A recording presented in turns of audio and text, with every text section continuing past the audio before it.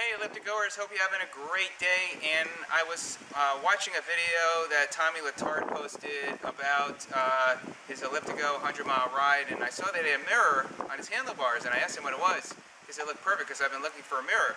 And it's called the Ultralight Bike Mirror, and uh, it really is light.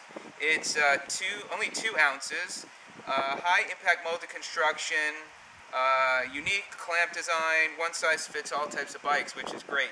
So I'm going to go and put it on just so you can see it for yourself. You can click on the link to get more information. Tommy, thank you for sharing this uh, with uh, myself and I can share with everyone else. So let me go ahead and put it on.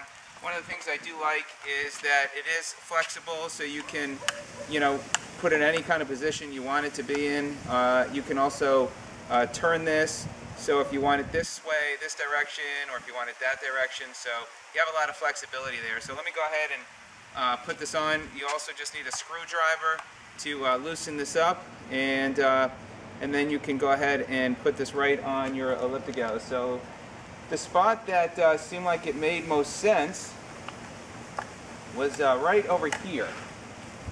Uh, that's where Tommy put his, and I'm going to do the same thing. So let me go ahead and tighten this up just a minute. All right, looks like I finally got that.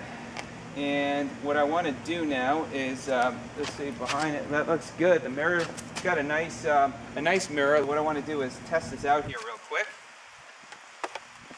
and see what it's like riding with it.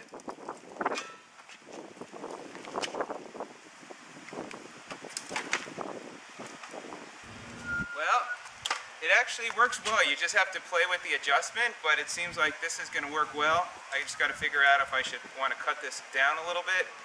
Um, and uh, so if there's not as much um, of this plastic sticking out, I might also just get some tape and tape it down. So anyway, uh, click on the link to get more information. I think this is a good uh, uh opportunity to uh, make sure you're safe while you're riding out there with a mirror that's lightweight, it's affordable, and uh, give you protection. So enjoy your Elliptigo day. We'll see you on the next video. Thanks for watching.